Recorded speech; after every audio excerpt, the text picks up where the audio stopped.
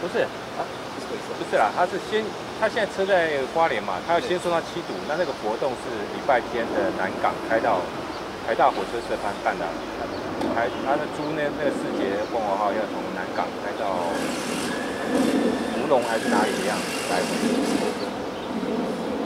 报报报是芙蓉还是哪里？要干嘛？没有，就台大火车社办的活动。是他们要办就可以办。呃，你要有，你要，呃，基本上要看车子有没有，然后排点排不排得出来，然后另外一个是你你要不要亏钱，他就四节车厢，一节车厢只要五十个人，他就算光华号是什么等级的，然后你再乘以，就等于包车形式。那你包了这个车，那你知道最后要给多少钱？那你最后找到的人有没有那么多？然后很满，那你去抓抓预算，你你出的价格，然后假如说是五百块，有人来买，你就出一些什么明信片干嘛干嘛的，随便一个纪念车票什么的，人家抓一抓，哎，有利润啊，你就你就抓，所以也有人办一办就亏钱的啊、所以说到处当初都要跟台铁去谈那个价格之类的。没有，它的价格是固定，就是包车价格，是你你包了之后你要卖给人家多少钱？包车多少钱？有啊，你官网都有啊，好像看你包什么车嘛，你你你可以包一节，也可以包客厅车，对吗？那你等于是你包那一节的话是有五十个座位，因为他他我包给你，你五十个座位，当然我都给你，因为你你你坐满跟坐不满对我来讲没差。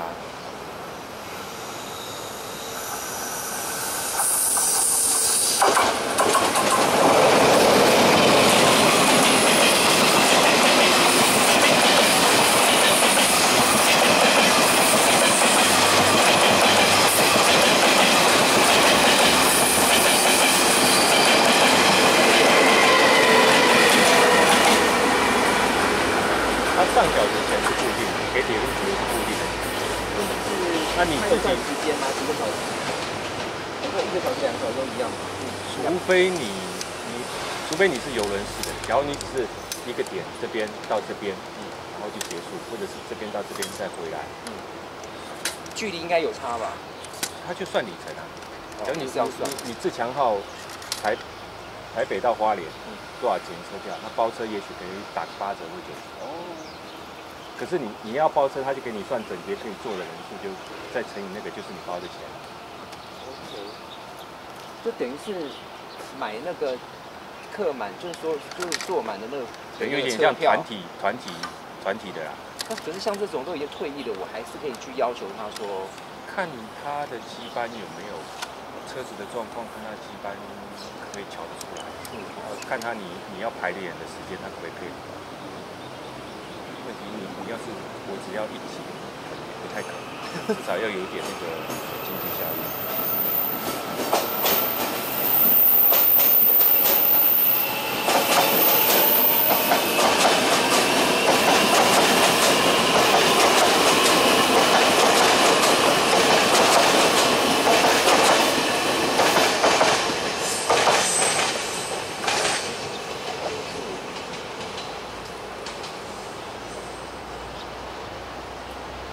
刚刚那个普悠玛是北上，对不对？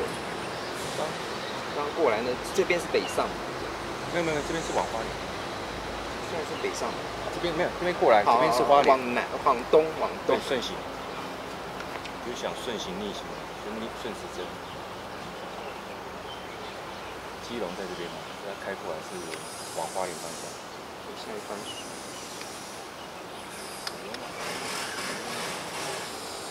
半个小时到一个小时半，还有这个，刚刚这个时间可能很久，现在是几点？九一九，九一九。哎，哦，哎，哦，刚刚那是八点五十七跑中山，呃，八点五十七中山的。下一班九点二十七，中山。到八堵九点四十二会停诶。哎，不是泰鲁，八堵 Sorry，这是泰鲁。哎，这是这这是八堵会停，没错吧？一二堵会吗？这是哪一站？七组。哎，是七组吗？哦，七堵。牛马七堵八堵应该是这是太鲁。你们要拍二 G 站，取消了，不知道，反正出来就出来了。